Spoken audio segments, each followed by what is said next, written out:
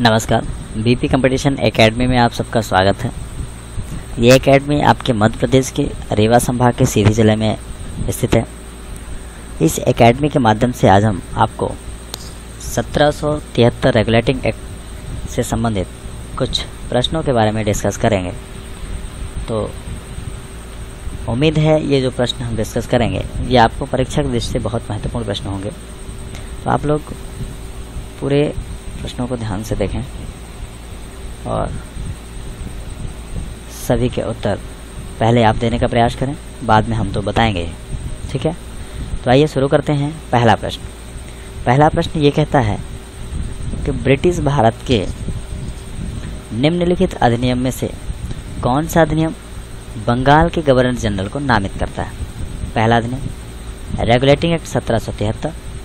दूसरा option Pitt's India act सत्रह सौ चौरासी, तीसरा ऑप्शन चार्टर एक्ट सत्रह सौ तिरानवे और चौथा ऑप्शन अठारह सौ तेरह। उम्मीद है आप लोग आंसर ढूंढ चुके होंगे। बिल्कुल, आपने बिल्कुल सही आंसर दिया है। पहला इसका करेक्ट आंसर होगा। पहला इसका करेक्ट आंसर होगा रेगुलेटिंग एक्ट। पहला नंबर इसका करेक्ट आंसर होगा।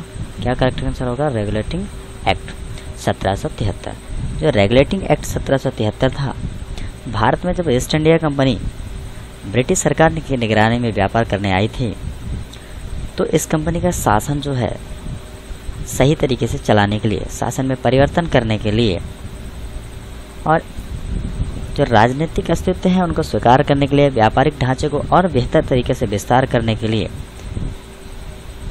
के उद्देश्य से सत्रह सौ तिहत्तर का रेगुलेटिंग एक्ट बनाया गया। मद्रास तथा बम्बई प्रेसिडेंसी को बंगाल प्रेसिडेंसी के अधीन कर दिया गया और ये कहा गया कि जो गवर्नर जनरल होगा, वो तीनों जगह का, तीनों जगह पे नेतृत्व करेगा।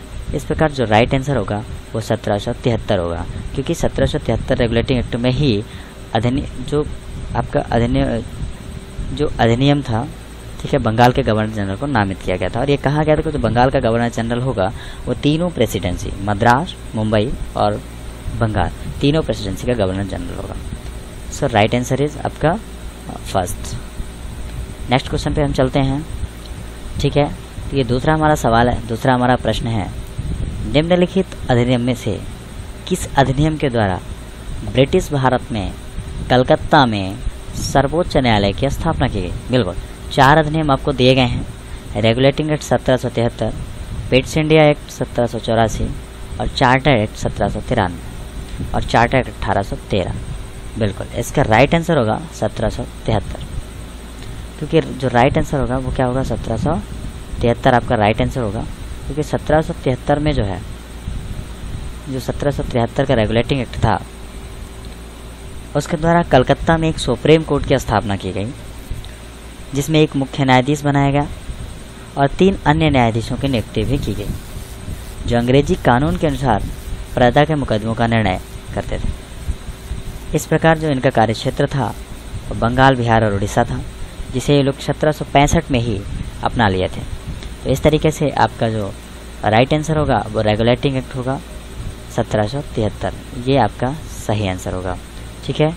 चलिए, अगले प्रश्न पे हम लोग चलते हैं। ये हमारा तीसरा प्रश्न है। निम्नलिखित में से किस ब्रिटिश अधिनियम ने ब्रिटिश ईस्ट इंडिया कंपनी को व्यापार का विशेषाधिकार दिया। चार ऑप्शन दिया गया है। जो प्रश्न है, उसका सीधा सा कहना है कि ब्रिटिश अधिनियम में कौन सा ऐसा ब्रिटिश अधिनियम है जो ब्रिटिश ईस्ट इंडिया कंपनी को व्यापार करने का विशेषाधिकार दिया है? तो अब आपको यहाँ पे राइट आंसर बताने हैं। चार इसके राइट चार इसके आंसर है। एक रेगुलेटिंग एक्ट सत्रह सौ तिहत्तर, एक पिटसी हंड्रेड सत्रह सौ चौरासी, चार्टर्ड सत्रह सौ तिरानवे और चार्टर्ड अठारह सौ तेरह।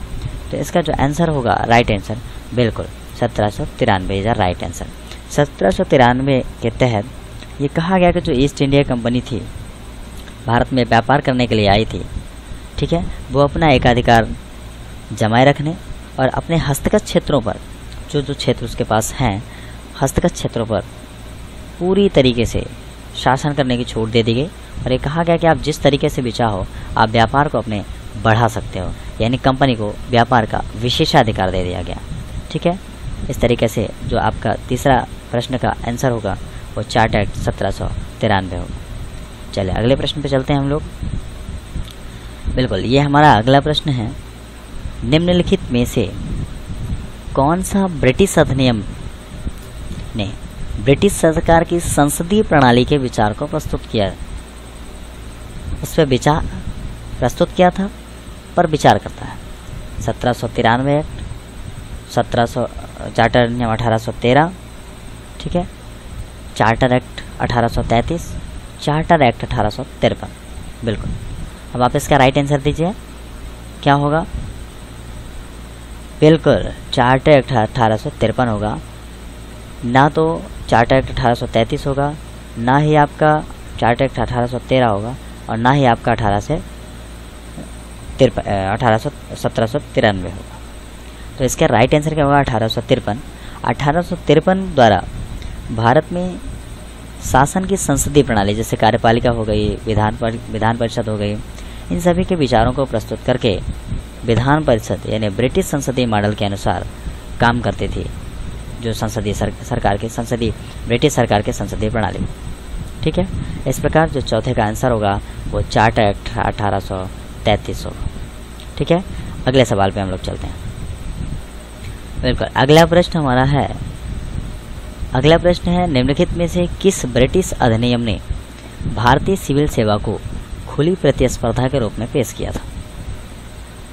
चार्टर एक्ट तिरानवे, चार्टर एक्ट अठारह सौ तेरह, चार्टर एक्ट अठारह सौ तैंतीस या फिर चार्टर एक्ट अठारह सौ तिरपन।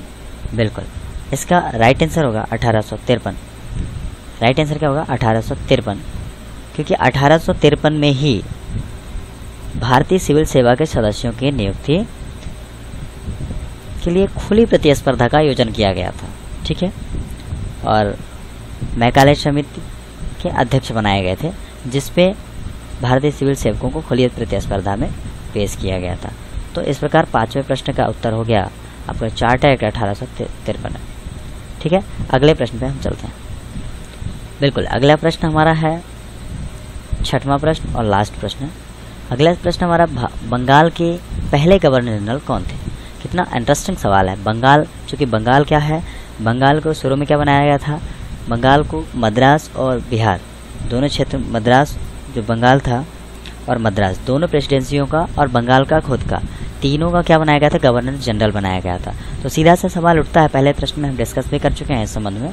अब यहाँ भी देख लेते हैं। पहला सीधा सा सवाल ये उठता है कि ठीक है, यदि इसको गवर्नर जनरल बनाया गया था, तीन जगहों का गवर्नर जनरल एक ही होता था, लेकिन वो गवर्नर जनरल था कौन? नाम क्या था उसका? बिल्कुल राइट आंसर उस गवर्नर जनरल का नाम था लॉर्ड वारेन हेस्टिंग ठीक है? लॉर्ड वारेन हेस्टिंग जो हैं, वो बंगाल के पहले गवर्नर जनरल थे। ठीक है? क्योंकि मद्रास बम्बई प्रेसिडेंसी, ये तीनों को बंगाल के अधीन कर दिया गया था। तो सिंपल सा था कि बंगाल के गवर्नर जनरल को तीनों प्रेसिडेंसी के गवर्नर जनरल बना दिया गया था।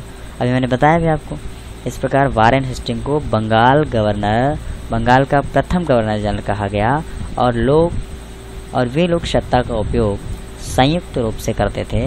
यही रीज़न है कि बंगाल के जो governor general lord Warren Hasting बहुत समय तक काम कर पाए।